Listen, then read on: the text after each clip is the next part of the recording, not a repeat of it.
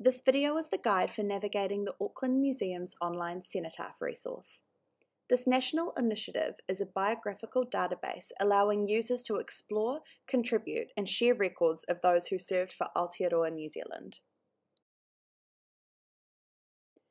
This video is going to show you how to make a search. First thing we need to do is get to the website. Either Google Online Cenotaph or visit www.aucklandmuseum.com. In the menu along the top, click the War Memorial button. You can then select Online Cenotaph from the menu on the left-hand side. To search for a person you know, you can enter their name or service number and if you have the specific details, choose the war or conflict they served in. Another option is to search by keyword, but let's do a person search first. Let's say we're looking to search up Clifford Tate. We enter his name and press search. This only yielded one result, so it must be the person who we're looking for. You have a general overview of his details, including his name, the force, wars, and service number. Click on his name to see his full profile. Pages are available to read in either English or Te Reo Māori. To switch, just click the button up the top to choose your language.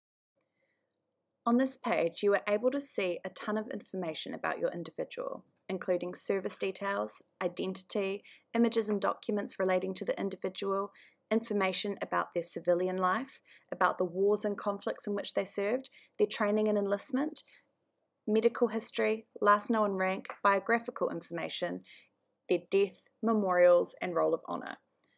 All of this information can be extracted onto a PDF file just click the PDF button up the top of the page.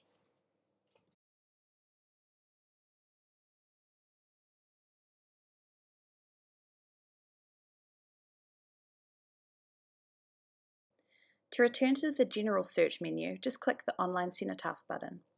If we don't have a specific person we want to search for, we can use keywords to help us. Let's say we want to search for army members who served in Egypt during World War II. We'd enter in all of these details, then click the search button. The search results have yielded 349 individuals. Just like the person search results, you can click into the profiles to see the full information.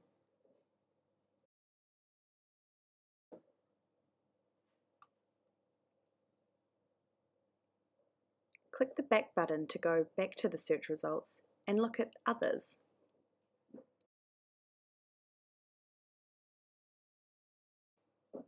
To return to the main menu, just click the Online Cenotaph button.